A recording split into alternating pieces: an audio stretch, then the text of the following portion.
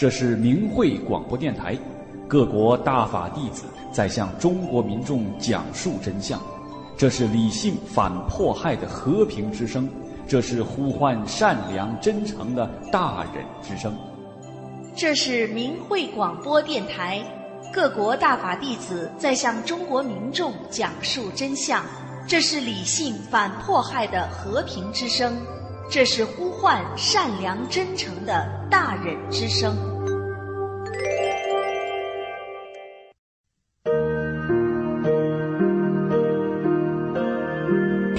好，欢迎收听明慧广播电台。您现在听到的是第一千一百期空中明慧周刊。这期节目的主要内容有：海外学员政法修炼活动简报；中国大陆学员近期遭迫害案例选登；修炼园地。现在请听详细内容。首先，请听海外综合：海外学员政法修炼活动简报。加拿大多伦多国际中心二月三号至五号举办第三十一届多伦多高尔夫及旅游展，法轮功学员参加，向来往民众展示缓慢圆的功法。展位还出售书籍《法轮功》和《转法轮》。多次有人特意走过来说：“你们的展位让人感到祥和。”还时不时有人向展位上的学员竖起大拇指。来展位学练功法的人源源不断。斯蒂芬接过学员地上的传单，他说：“我正想要上网多阅读一些关于法轮功的资料。”他表示自己在新闻报道中看到过关于中国的法轮功学员遭受中共迫害的消息。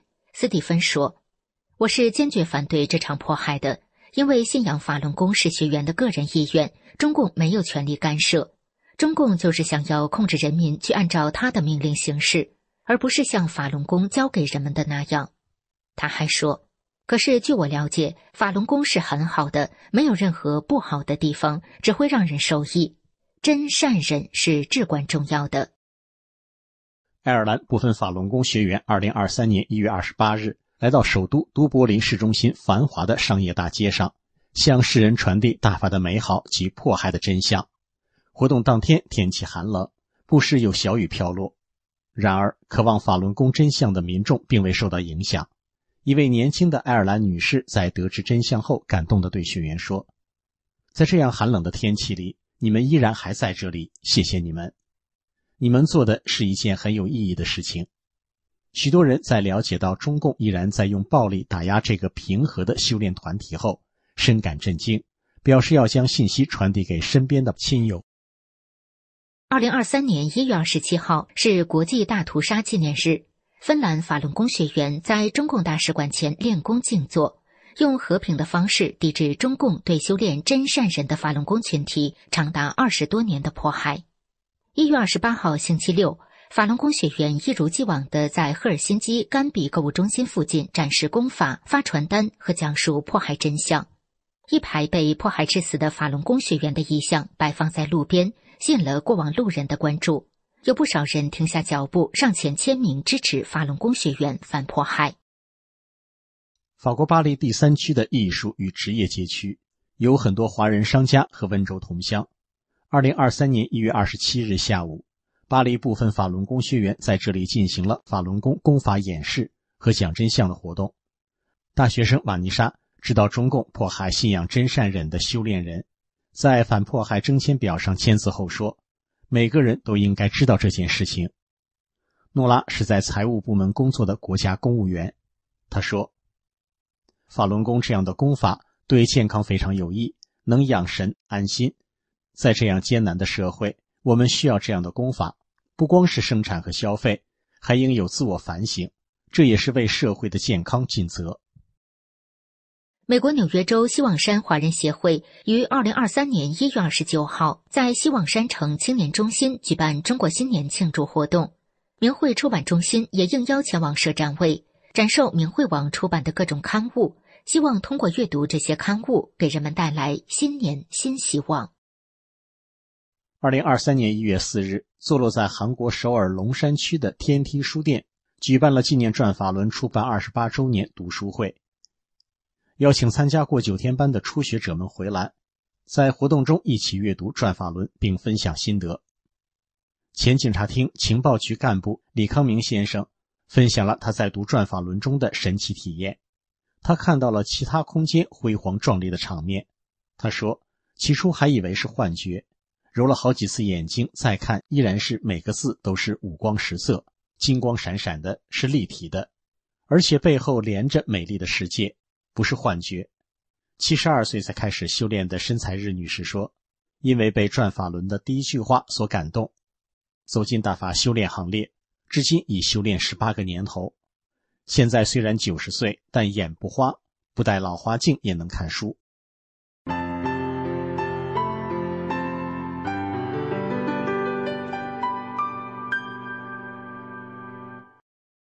下面请听大陆综合。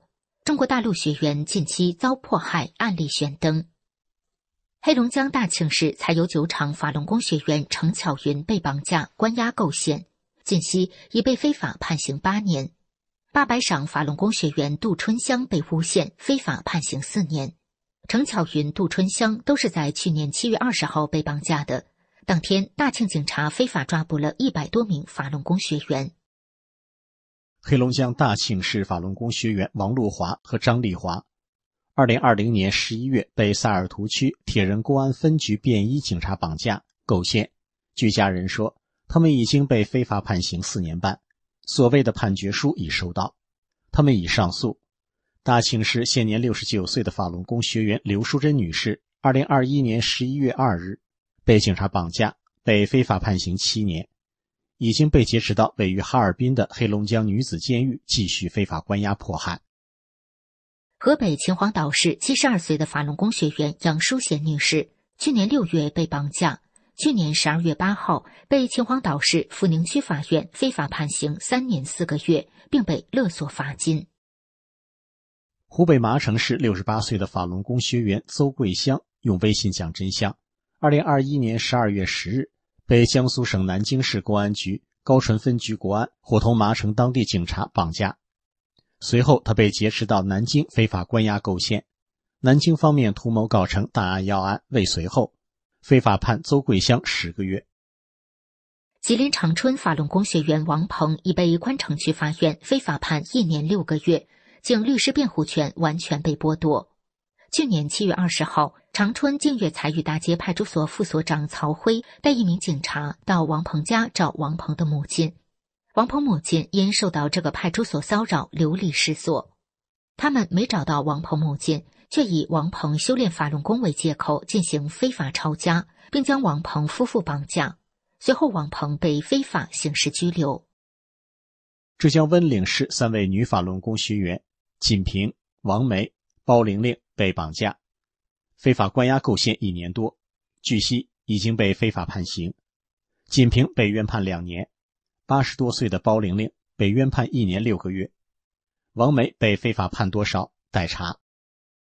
江苏南京市玄武区法轮功学员王慧兰女士多次被非法关洗脑班派出所，在劳教所遭残忍迫害，居委会与公安经常上门骚扰跟踪。二零一五年八月，他被绑架，网判一年半。二零一七年过大年前几天，被劫持到南京女子监狱继续迫害，于去年十二月二十五号含冤离世。陕西西安市雁塔区法轮功学员方丽婷女士，因长期遭受中共的迫害，尤其是四年多的牢狱之苦，使她的身心遭受极大摧残，于二零二三年一月十九日离世，终年五十三岁。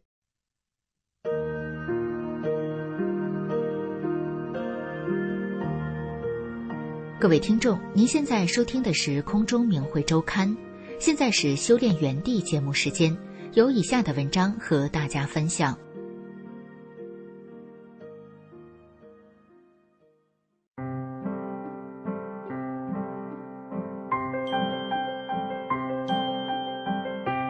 请听明慧交流文章，题目是《我身边相信大法的人，疫情中都平安》。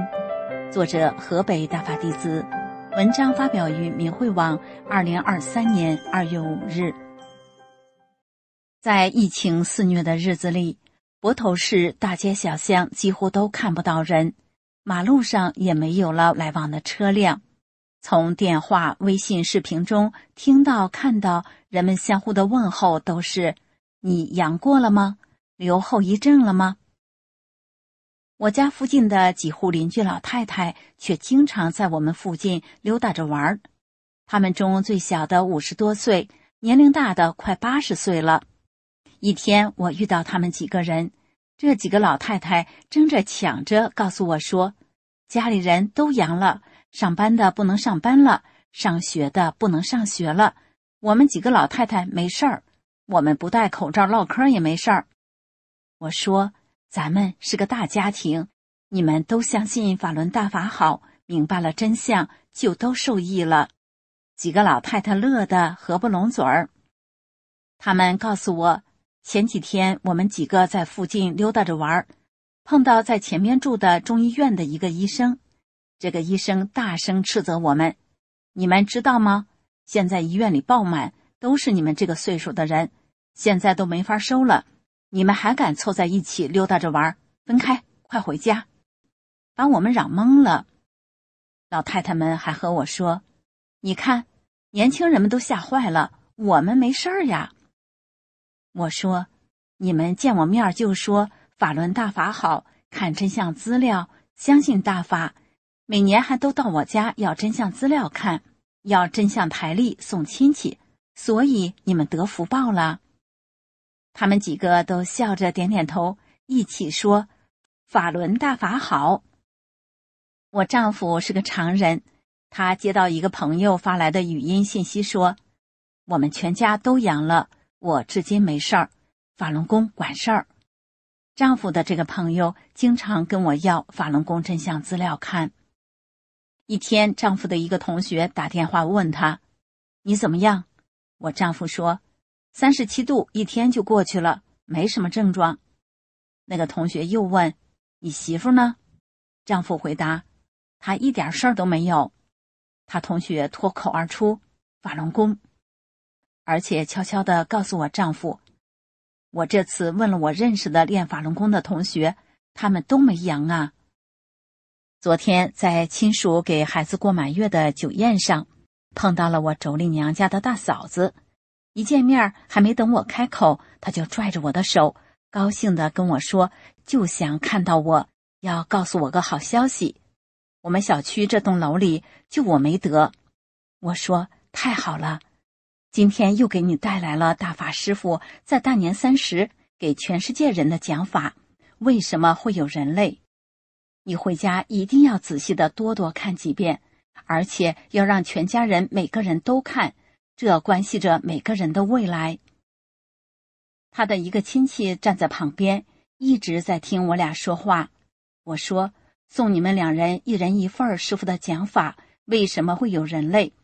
每人一个新下载的真相视频 U 盘和一本九瓶共产党。”我给他们介绍了视频的内容以及看的方法，告诉他们自己看完后再传给亲朋好友看，你们也功德无量。他们都高高兴兴的接过去了。酒宴开始了，我们这张桌子十六个人都是陌生面孔。利用吃饭的机会，我给他们讲了法轮功真相，并且告诉他们一定要常念“法轮大法好，真善人好”九字真言。他们都能接受。这两个月，我接到同学、同事、朋友的许多问候。也深知他们都看明白了中共邪党的邪恶，明白了法轮大法师傅是来救人的，法轮大法是正法。我为他们找到了真理，做出正确的选择和拥有美好的未来而高兴。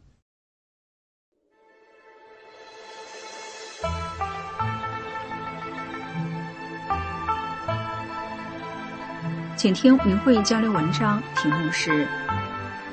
传师傅经文，为什么会有人类？平闻众生感谢声。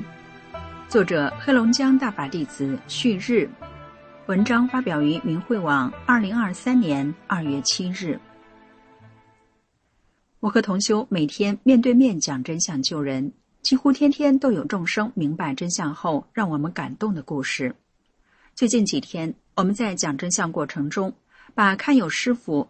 为什么会有人类的周报发给周边的民众，让他们明白大法师父的宏大慈悲，有的很高兴的接受。我们就嘱咐他们珍惜这份真相，他们都说谢谢。二月一日，我和同修走在市中心繁华的街上，身边走过一对小情侣，同修对他们说：“看这俩孩子。”我俩和他们打过招呼，同修跟那个男孩讲。我就跟女孩讲，我对她说：“孩子，现在疫情还很严重，有的地区火葬场都忙不过来。我真诚的希望你在疫情期间平安呐。”他笑着说：“谢谢。”我便讲给他：“如果人是由猴子进化来的，那猴子又是什么进化来的呢？谁也没能说清楚。其实是创世主造了万物，包括神和人。”做人是有标准的，必须真诚、善良，能宽容别人。你说我说的对不对？他点头回答我：“你一定入过少先队和共青团吧？你举手宣誓把命交给他，可是他这个邪党却不让你相信人是神造的，让你跟天斗、跟地斗，就是不让说真话，不让人善良。所以现在到处是假，遍地是黄，为了钱。”连母亲都杀，这不符合天理，天就不要这样的人了。这瘟疫就是淘汰这样的人来的。要想平安，就记住天理，法轮大法好，真善人好，退出中共党团队，把宣誓的誓言作废，顺应天理，远离邪恶，这是平安的唯一办法。他听明白了，告诉我他的小名做了三退。我还告诉他。大法师父向我们讲出了为什么会有人类的天机，这是佛法。今天你能看到，是你的造化，也是你的福分。送你一份，回家给父母都看看，让他们都能躲过这次灾难。这是大法师父的慈悲救度啊！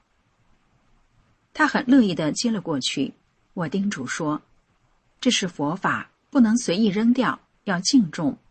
传给亲朋看后，要收好。”他都认同，又给了他一个真相 U 盘和一本明慧期刊，明白，他都珍惜的收好，乐乐呵呵的说再见。在公交车站见到一个高个子女士，我和她打招呼：“你个子真高，今年多大了？”她让我猜，我猜她不到四十岁。她说那是她儿子的岁数。我说儿子都那么大了。我祝你们全家疫情期间都平安。他说：“谢谢。”我问他：“你知道吗？从武汉疫情开始到现在，全国染疫已经死去了四亿人，党媒根本不报，老百姓都说中央电视台除了整点报实是真的，其余都是假的。现在疫情还很严重，什么药都不好使，只有一个办法能保命。有人告诉你吗？”就是三退保平安。他说不知道，我就给他讲大法弟子遭迫害的真相，被活体摘取器官的真相。他很认真的听。他告诉我他的小名叫小华，顺利的做了三退。我还给他讲，大法师父来传佛法，现在把为什么有人类，人来世是为了什么都讲得非常清楚。这是创世主对人类的慈悲救度。今天我送你一份宝轮大法师傅的《为什么会有人类的经文和真相期刊》，明白？你看后会明白人来世的目的。他两手提着塑料袋，接过去握在手里。我说：“这是佛法，要静，装在袋里吧。”看他倒不出手来，我就接过他提的塑料袋，解开扣。他用手托着袋子，配合我，静静的等候。那一刻，我的感应就是他明白的一面，无限感恩大法的救度。我被他的敬意感动。我说：“我把最好的都给你，这个 U 盘你看后会受益无穷，这个护身符会保佑你永远幸福平安。”他一一的接过去，连声谢谢。我告诉他回家如何保管这份佛法，他都答应。待上车时，我向他告别。小华再见，他回应再见。二月二日，我们在一个商场的大门前，看到冰队的滑梯有小孩在玩我和同修过去和小孩打招呼。我问一位年长者：“您是孩子的什么人呢？”他回答：“是爷爷。”我问他在哪个单位退休的，他说是造纸厂。我说：“当年那个工厂多好，可现在被贪官给贪黄了。”他说：“不贪怎么能发财？不是搞资本主义吗？没有资本怎么搞？”我听明白了，他在讽刺那些贪官。我说：“中共与天斗，其乐无穷；与地斗，其乐无穷。把天给人留下的传统文化都给斗没了。”没有了仁义礼智信，贪官的钱论吨数。江蛤蟆是最大的贪官，把钱都移到国外，苦的是老百姓。现在社会乱象百出，有的人被活摘器官倒卖。他说：“是啊，还有这样的医院帮助杀人呢。疫情期间连疫苗也用假的，不是还说要查出这个假疫苗的根子是谁吗？”我们聊了很多，他对一些真相都接受。我又讲给他为什么有这场瘟疫，怎样保平安，确认他没做过三退后，帮助他退出了党团队组织。见他很高兴，我又把护身符也送给他，他很珍惜的收起来。我把师傅的经文内容讲给他，我说：“这是创世主对人类的慈悲啊，这是人类史上从未揭示过的天机。”他主动要求要一份，我说：“珍惜保管这份佛法吧，鸿福会相伴您。”同修给他的儿子和妻子也都做了三退，三人都得救了。再往前走，遇到一位年长者，我与他打招呼：“您才多大年纪就拄拐棍儿啊？”他说：“八十多了。”我说：“我爸都九十多岁了，还没拄拐棍儿呢。”于是我就讲给他念九字真言的神奇实力。这时，又一位老者也拄着拐棍儿停在我们身边听我讲。我以为他俩认识，就没在意。他俩听明白后，我给他们一人一个护身符。后来的那位老者当时接过去就照着念：“真善人好。”我问他：“您多大岁数了？”他回答：“九十四岁了。”我说：“这岁数眼不花耳不背，祝您长命百岁呀！”他乐呵呵地说：“借你吉言。”先前那位老者对我说：“我还以为他是你爸呢。”至此，我才知道后者是自己来找真相来了。我接着讲给他们，这九个字还能在这次疫情中保平安救命呢。我把为什么三退能保命的真相讲了许多。这位九十多岁的老者什么也没入过。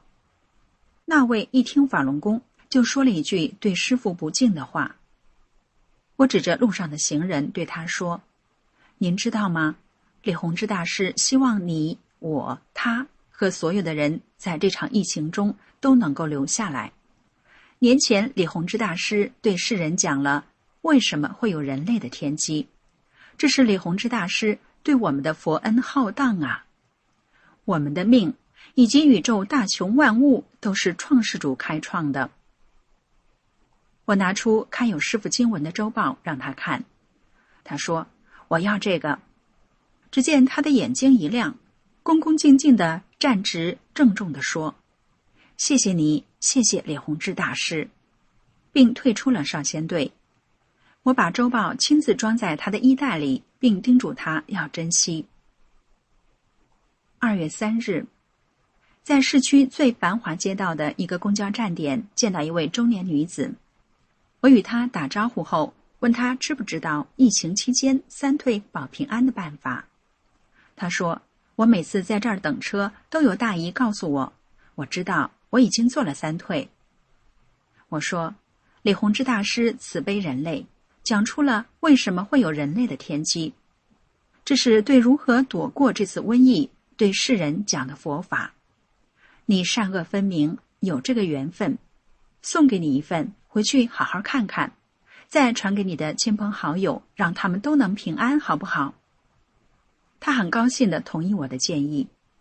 我又告诉他怎样帮助他们三退的办法，他都听得很认真。最后把周报收好，谢了又谢。二月四日，这天在同一公交站点，先后有两位男士都高高兴兴的三退后收下了周报。其中一个小伙子听完真相后，他表示在做商品推销工作中也需要按真善忍去做。还说回去认真看看师傅讲的天机。另一位中年男士接到护身符后，又要了一个给妻子，还说回家要用塑料皮儿包好带在身上，也说要珍惜师傅讲的法，给亲人也看看。我和他们讲真相的过程，就像老朋友一样，把我的修炼体会告诉他们，他们都笑呵呵的与我交谈，让我很感动。要都记录下来，实在是太多。在这里，我再次代那些明真相得救的众生，感恩师尊的佛恩浩荡。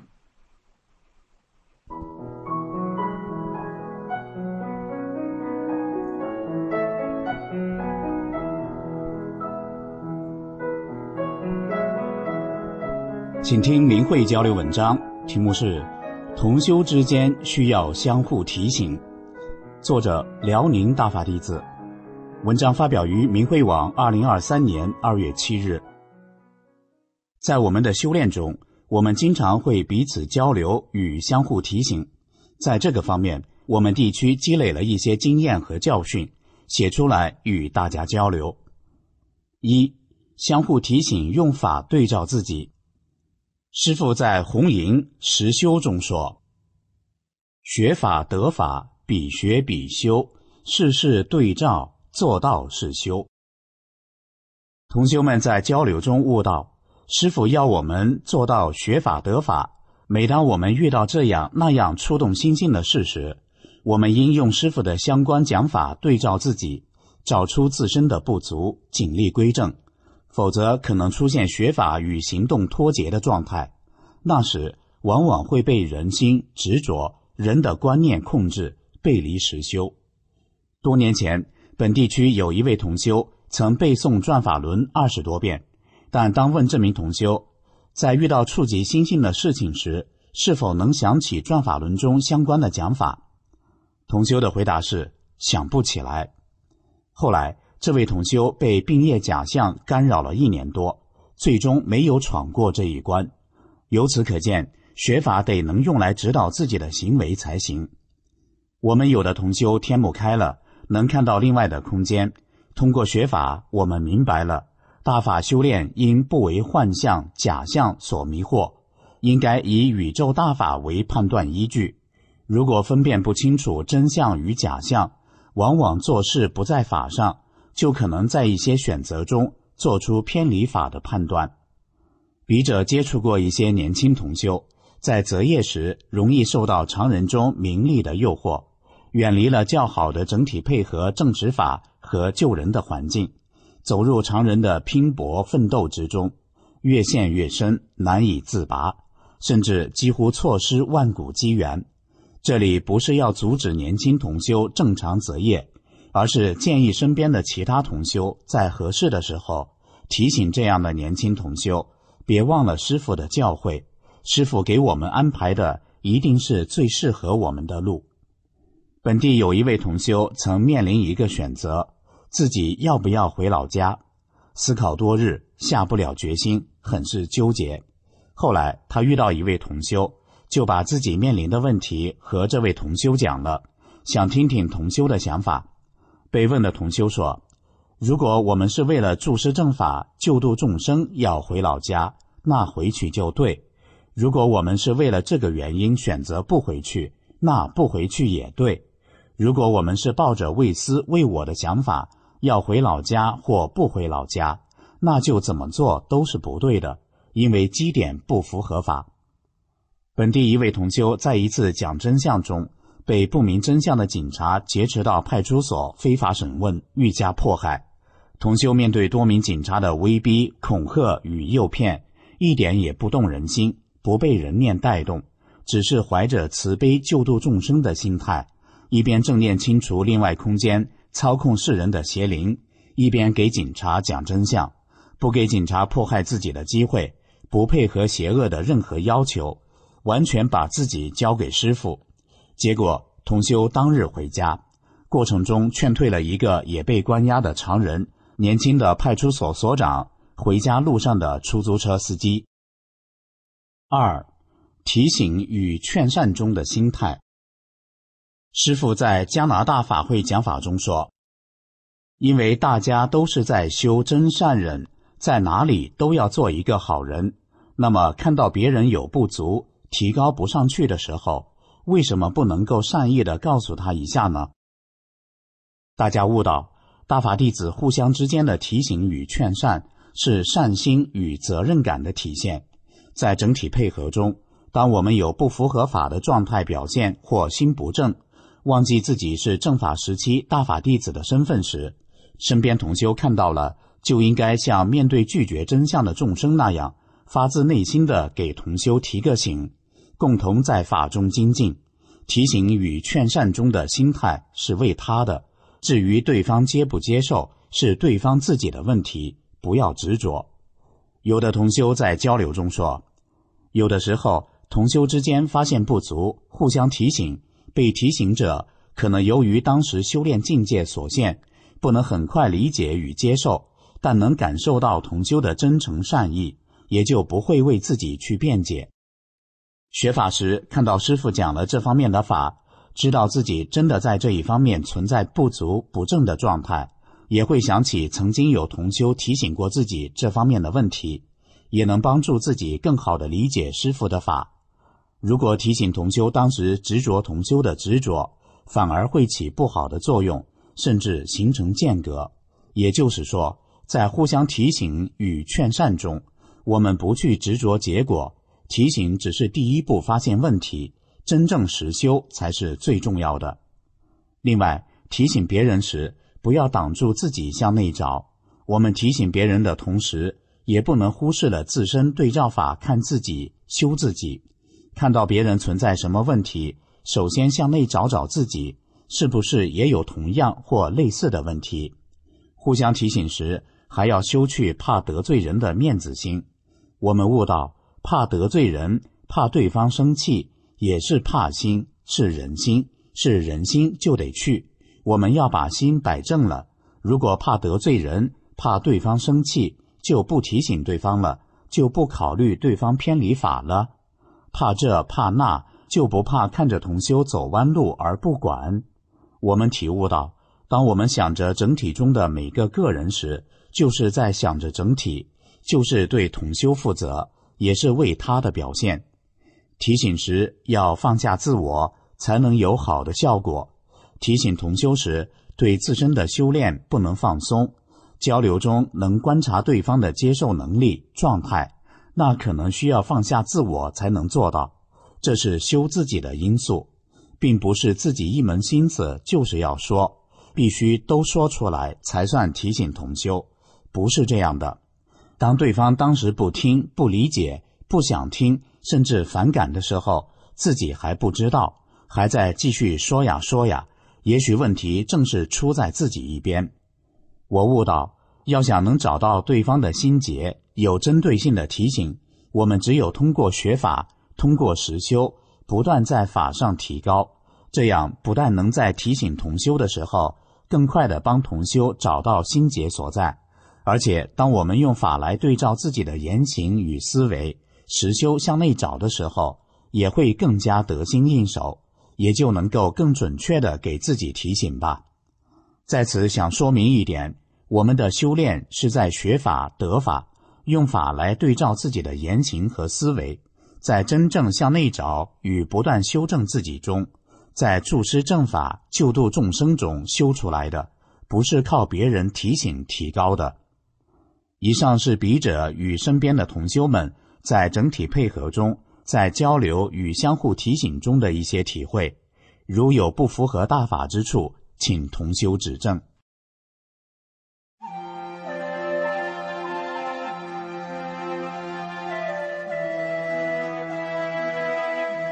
请听明慧交流文章，题目是“修去不善和自私”，作者海外大法弟子。文章发表于明慧网，二零二三年二月二日。我注意到一种现象：有的同修虽然修炼多年，但是善良程度还不及常人，极端自私；同时，也有一些常人心地善良、宽容厚道。我自己就属于善良程度很差的人。为什么会有这种现象呢？个人认为，人的根基及成长环境不同，从小形成的价值观也不同。如果形成一种以自我为中心的价值观，改起来很难。形成的自私物质可能像冰山一样，不努力实修都很难去掉。我越来越认识到自私和不善的严重性，这是严重背离宇宙特性的，不去掉是无法进入未来的，因为未来的新宇宙是为他的，而旧宇宙是为私的，是注定被淘汰的。如果不在这方面下功夫，其他方面再好也严重有漏。我观察到。有一些表现精进而后来遭遇严重磨难的同修，就是非常自私和不善良的。我们应引以为戒，修炼不能绕过修善。一不善的行为，我梦见同修 A，不禁回忆起多年前的一幕。A 有些孤僻，不自信。所以我瞧不起对方，在一次聚会中，我对 A 爱理不理的，在场的同修 B 也表现出对 A 的轻视，同修 C 则主动与 A 聊天，A 明显感觉到了 C 所传递的温暖而很高兴。我认识到我和 B 都伤害了 A。人都能敏感地感知别人心里对自己的态度。其实 A 没有做任何应该被人看不起的事情。善良人对别人的弱点应抱有恻隐之心。我就在心里向师父忏悔，对 A 同修忏悔。去年的一次经历对我很有启发。我因为与同修 D 观点不同而自以为是。总想说服对方。通过学法，我明白是自己的观念太固执了。我应该尊重人，就诚心的给地道歉。当时我身上长了个硬块，几个月里越长越大。道歉后，硬块几天内就缩小，最后消失了。我深感神奇，同时也体会到了善的重要。自己居高临下的态度已经对人失敬了，也失去了善。想不到这么小的事情并不小。回忆起当初长硬块，也是与我对人不善有关，而自己居然几个月都找不到原因。我认识到，我们在迷的反理中，更是在旧宇宙灭的末后时期，世风已相当败坏。自己也随波逐流了，自以为不是问题的事，在神眼里也许是很大的问题。自己的感觉与神的标准之间有很大差距。过去自己在很多场合都不能忍受同修小孩的吵闹，觉得同修留在家看孩子对整体贡献更大，那种想法多么不善啊！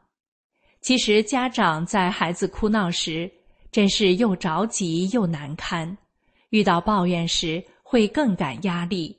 应该善意理解。有的老年同修发言冗长，过去我也不耐烦。后来发现，有的同修粗暴打断，有的同修则耐心包容，从中能看出善心的差异。传统理念讲。尊老爱幼，这些都是做人的基本准则啊。中年同修 E 曾强烈抱怨同修孩子的吵闹，说这是同修对环境的干扰，易脾气暴躁，后经历痛苦病业离世。老年同修 F 曾用皱眉瞪眼等来表达对小孩哭闹的不满。F 看起来很精进，突然遭遇横祸离世。个人认为，不是说对小孩吵闹不忍的本身。会带来多么严重的后果，而是这能体现出一个修炼人的善心与包容远远不够，还达不到西方表面文明的基本要求，而不善的心也会体现在方方面面，这也许就是被旧势力迫害的原因。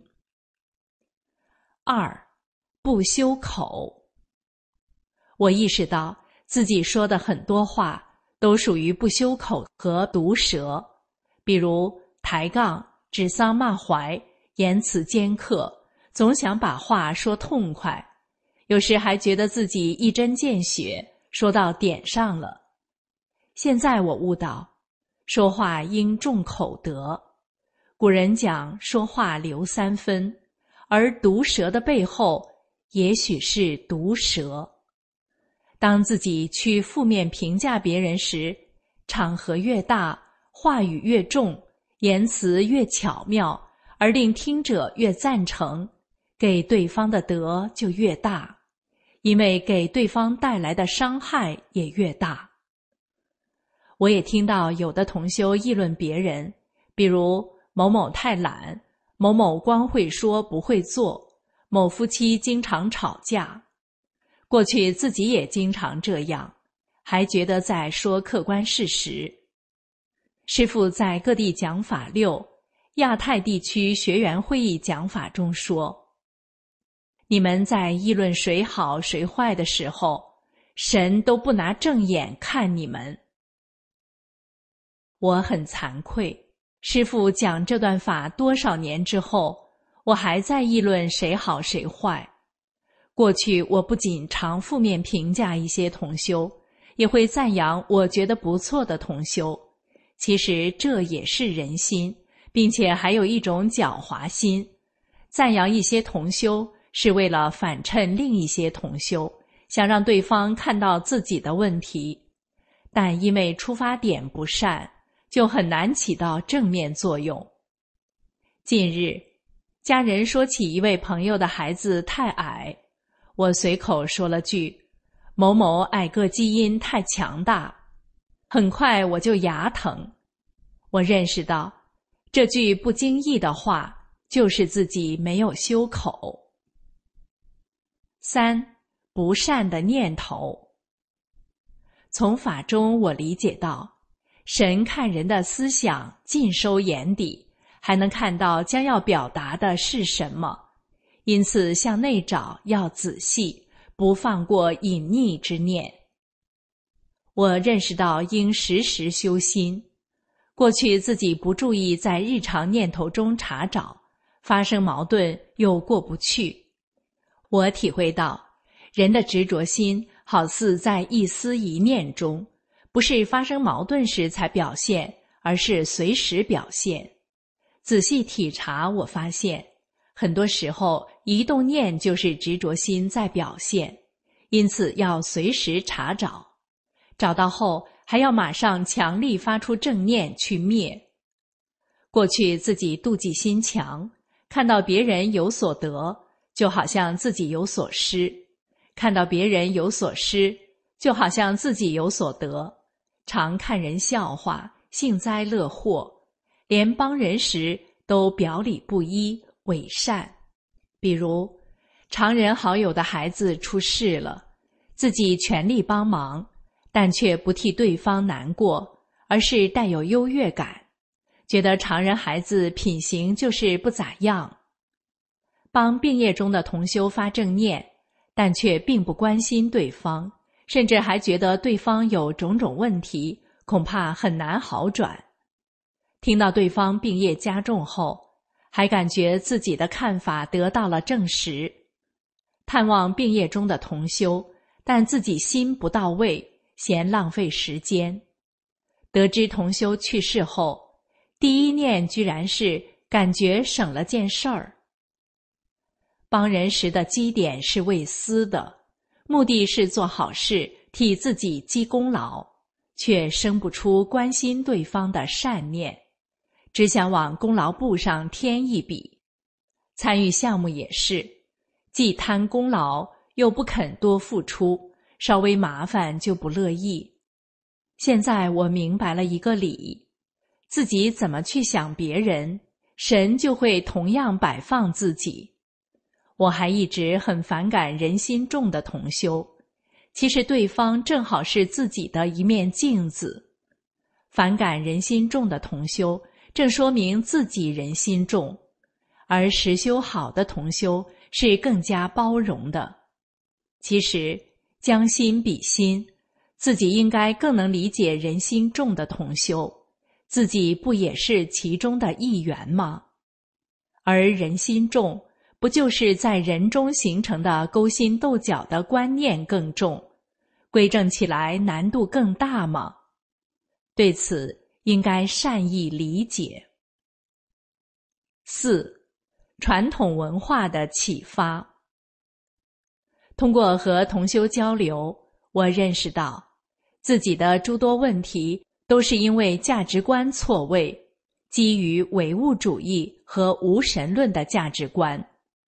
孟子说：“恻隐之心仁也，羞恶之心义也，恭敬之心礼也，是非之心智也。”对照后，我发现自己很多表现都缺失了仁义礼智。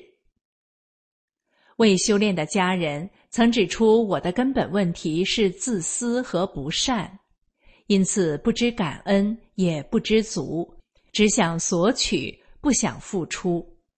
过去我们争吵不断，非常痛苦，甚至都谈到了离婚。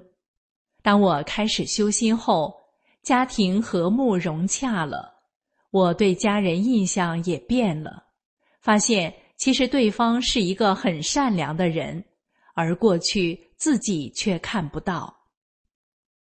五，私心不去，就不能修出真正的善。过去我有个认识误区，觉得自私是每个人的根本问题。到了很高层次才能无私，我还早着呢。可是我却忘记了一个理：自私还是为他，这是新旧宇宙的根本区别。我过去不修掉私，等于是绕道走。我曾对自己的计划是早起、大量学法、多练功、参与价值感大的事，觉得这样就是精进了。但计划中。却没包括修心向善，也错误理解了“比学比修”的含义。“比学比修”出自红吟《实修》，经常在形式和结果方面与人攀比，却不对照心性。比如，听到别人学法练功更多，就感到压力，就想追赶上；听到别人哪方面好。如劝三退的人数多，就妒忌，生怕被落下，和同修好像是一种竞争关系。听到别人哪里不好，反倒松口气，觉得自己与之相比还不差。这是把修炼当成人中的事去努力，但却不生善念。其实修炼不是人中的事，是讲放弃、放下、后退。无求为他成就别人，提高自己的。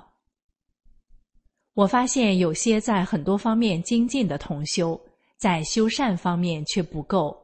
比如，有的同修不时流露出傲慢心，有的觉得做重要的事才有价值，被别人占用时间就感觉不划算而急躁埋怨。有的同修不考虑别人的感受和难处，只关注自己的利益。利益不一定是钱，而是修炼人最在意的，如时间、项目资源等。有的同修在面对关键利益时，表现出一种完全不考虑别人的极端自私心态。个人认为，同修在其他方面的精进都很值得赞赏，但如果不重视修善，是很可惜，甚至很危险的。这方面的教训很多，而修炼有素的同修常怀慈悲祥和，走得很稳。六。体悟善的实质和表现，己所不欲，勿施于人。换位思考，自己的弱点不希望被人刺痛，自己也不要论人短长。自己犯了错，希望被人包容，自己也应原谅别人。我过去常对别人的错误揪住不放，是太不善了。自己有了好事。或取得进步很高兴，也应替别人的好事开心；自己遇到不幸的事情会痛苦，也应替别人的不幸难过。我过去对很多人都看不惯，似乎没一个好人。同修弟善良老实，常提到要将心比心，摸着良心，我觉得很有道理。地同修看谁都觉得是好人，即使看到别人的问题，也只是感觉对方是一个不完美的好人。我过去还感觉地眼光不准，后来发现是善良程度的差异。现在自己看人比过去顺眼多了，再看不惯别人时，我知道根源是自己不善，越善良才越能容人嘛。其实看人的顺眼程度，也许体现着善良程度。经常对人看不惯，说明自己要提升自己了。我意识到自己这方面的问题太大，需要挖根的地方太多。我边写这篇交流稿边反思，越加意识到不善良真是生命的根本问题。我修炼二十多年了，才意识到。其实这些年，除了家人指出，我也多次听到身边的同修或常人谈到关于善良的话题。这也许是师父通过别人的嘴在不断点化我。我早该悟道。弟子得法多年却不会修，辜负了师尊的慈悲苦度。感恩师尊让弟子从一个极端自私的生命。渐渐清醒，一点点归正。今后我一定真心学法，努力同化法，修出善念慈悲。以上是个人的近期修炼体会，不当之处，请同修慈悲指正。编注：本文代表作者当前修炼状态中的个人认识，仅与同修切磋。比学比修。